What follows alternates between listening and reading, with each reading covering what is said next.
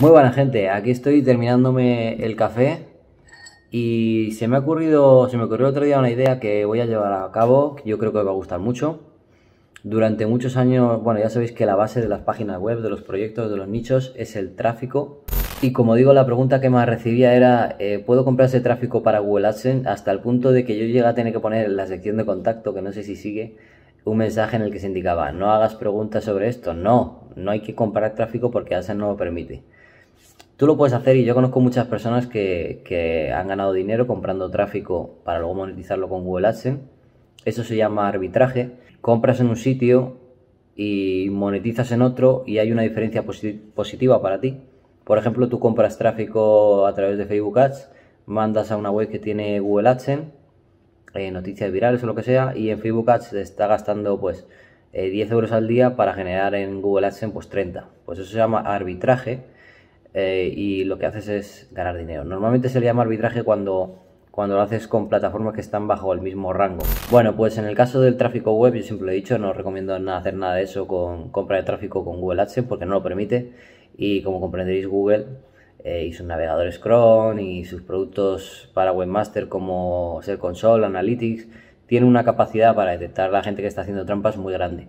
Y a lo largo de los años he visto muchísima gente ganar dinero haciendo trampas a Google AdSense y también he visto miles y miles de cuentas ser baneadas. Es una tónica que ves muy a menudo. También es cierto que considero que hasta cierto punto se hace justicia porque muchas veces Google AdSense te banea injustamente. Eh, en su afán por intentar pillar a la gente que hace trampas, muchas veces banea a gente de manera injusta. Por eso al final, como siempre digo, este sector es totalmente injusto. Es injusto, pero vamos, eso no creo que nadie pueda ponerlo en duda.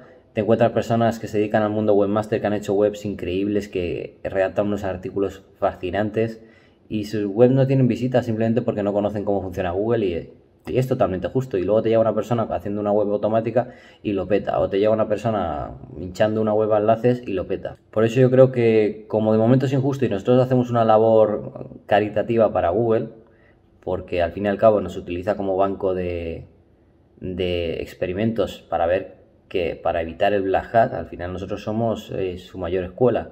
Con lo que nosotros hacemos o lo que nosotros somos capaces de hacer, los SEO, en general eh, el, navegador, el Google mejora y por eso se ha convertido ahora en lo que es una de las mayores empresas de Internet. Entonces, bueno, lo que he pensado es, eh, leyendo ciertos hilos en Black Hat World, dije, wow, hay tantas fuentes de tráfico, tantos...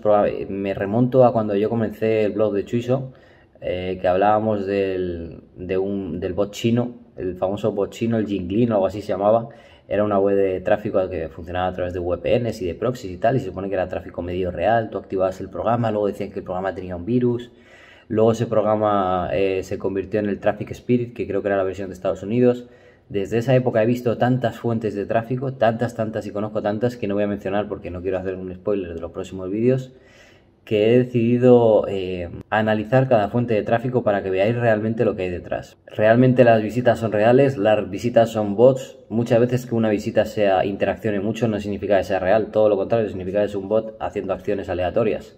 La mejor manera de medir esto es, como podéis imaginar, con headmaps o con recordings, con grabando lo que hacen las visitas. Esto se puede hacer a través de, de un programa, que, de un servicio web que lleva muchos años como el Hotjar también hay otras herramientas para hacer mapas de calor y para detectar las acciones que hacen los usuarios en pantalla. Esto se utiliza mucho para comprobar la, funcionalidad de una web o lo amigable que es para el usuario y lo hacen muchas empresas grandes para ver si realmente la gente se pierde al entrar en una nueva sección que han lanzado en grandes portales. Entonces yo lo voy a aplicar en un nicho que no tiene visitas, que es un dominio totalmente nuevo y vamos a ir aplicando distintas fuentes de tráfico y vais a ir viendo pues realmente esas visitas que hacen ¿Y cómo podemos valorar si, Google podría considerar esas visitas reales, si las podría tener en cuenta? Todos los datos eh, importantes que, y que Google podría llegar quizás a, a, detectar, porque esa es otra. Cuando la visita entra en nuestra web y empieza a hacer acciones, Google es capaz de interpretar y de detectar sobre todo lo que está sucediendo dentro de la web, o tiene que volver la visita al navegador de Google, qué está pasando realmente ahí, cómo podemos hacer que Google o cómo podemos saber si Google detecta eso. Eso es lo que vamos a ver. Vamos con la primera fuente de tráfico y a ver qué os parece. Bueno, pues como podéis ver aquí, esto es una web que he hecho muy simple, era un dominio que tenía por ahí.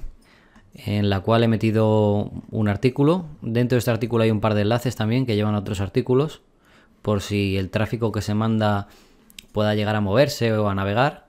Como podéis ver aquí entra un artículo. Desde aquí también incluso entra al otro artículo.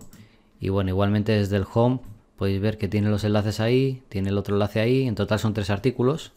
Son dos artículos más el que hay en el home. Y aquí abajo están las dos entradas. Aquí hay un comentario. Y bueno, ve, como podéis ver, no he tocado mucho más. Eh, lo que he añadido aquí es con el plugin de Short Code, este Short Code que es muy simple. Em, porque, bueno, entiendo que si entra una persona real y ve esto de recibe aquí un cupón de descuento de Amazon de 100 euros, es probable que vaya a hacer clic. Entonces, pues quizás una manera también de diferenciar al típico tráfico bot de, una persona real que probablemente haga este movimiento, ¿no? Le llamará la atención y, y quiere hacer eso, ¿no? Haga clic. La primera plataforma de tráfico que he, que he probado es una plataforma que encontré en Black Hat World. Como podéis ver aquí, Website Traffic Generator, Babylon Traffic, es una herramienta, como podéis ver por aquí, te dice todo lo que hace supuestamente, pues envío de tráfico, se puede geolocalizar, no tiene fingerprint según ellos, son muy customizables, te permite hacer un montón de cosas y el precio que tiene, por ejemplo, por 10 dólares al mes, 300 acciones al día, una campaña y permite hacer pues todo tipo de acciones. Si hacemos clic aquí, lo vamos a abrir Veis que tengo un cupón de descuento, yo tengo la cuenta ya creada y he enviado 50 visitas. Si os fijáis aquí, running, running, running, esto es todo lo que ha ido mandando. Y luego todas estas sido las que he ido completando. Estas visitas eh, yo las tengo creadas en la cuenta, pero son gratuitas. Es el plan gratuito que tienen. Además, parece ser que han cambiado los planes. Antes tenían un plan de 9,99, creo. Quizá a lo mejor era solo para los usuarios de Black Hat World. Pero aquí podéis ver que ahora es 29 euros al mes, pues 1000 acciones al día. Aquí, por ejemplo, te dice que lo que, lo que supone una acción que es en lo que puede hacer una visita. Visitar una página, hacer clic en un enlace, esperar X segundos, rellenar un formulario. Parece ser que puede hacer un montón de cosas. Sin duda, esto es son bots, ¿vale? Son, son navegadores que emplearán y que harán acciones, pero no son visitas reales. Y el modo que yo tengo de ver eh, cómo actúa este tráfico, pues ha sido instalando Hotjar. Para el que no lo conozca, Hotjar es una herramienta que yo enseñé hace muchos años ya para hacer mapas de calor y para hacer recordings de lo que hacen las visitas en la web. Entonces la idea, pues como os había comentado al principio, de esta serie de vídeos es ver a ver qué, qué, calidad presenta cada tipo de tráfico y qué es lo que hacen realmente en la página web. Hay muchas fuentes de tráfico, mucha gente dice, no, este es mejor, no, este es peor, este lo hace mejor o peor. Bueno, nosotros lo vamos a ver de manera 100% real, pasándole Hotjar. Incluso también tengo puesto Analytics para que podamos ver de dónde van llegando las visitas le tengo ser console, pero yo creo que sin duda lo mejor de todo va a ser el propio Hotjar.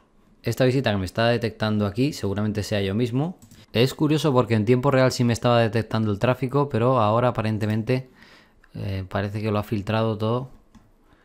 Vamos a ver en Hotjar qué tal. Como podéis ver, eh, cuando me ha dejado hacer la campaña me ha dejado elegir el país y la referencia del tráfico. Sin embargo, pese a que yo lo he puesto España, esta es mi visita, que yo estoy aquí en la web, como podéis ver. 24 minutos porque tengo la web abierta. Sin embargo, todo el tráfico que me ha mandado ha sido de Estados Unidos y de algún país por ahí como Rumanía, Canadá, India. Entonces, bueno, el tiempo de que ha pasado la visita también me ha dicho que lo podía configurar. Le he puesto un minuto y como veis, todas las visitas son de más de un minuto. Vamos a ver qué tal, qué hace exactamente este tráfico en mi web. Vamos a darle a play y lo vamos a ver. Fijaos, este, esta visita ha entrado desde móvil Android, Chrome Mobile, hace una hora, Estados Unidos, y aparentemente ha realizado una acción. Si yo activo esta opción de aquí, Skip Inactivity, voy a ver lo que ha hecho. Aparentemente ha hecho un clic, ha bajado o algo. Vamos a ver el siguiente. ¿Qué ha hecho? Vale, este es el de Hotjar, el, que hace Hotjar, ¿ves? Fíjate la acción que está haciendo. Aquí hacen el, el logo de Hotjar. Esta visita no contaría. Vamos a pasar a la siguiente. Vamos a cerrar esto. Y en vez de irme a esta, me voy a ir a esta de aquí. Esta, que sí que ha salido a otra URL. Y como veis, ha hecho clic en un artículo, ha entrado y ya.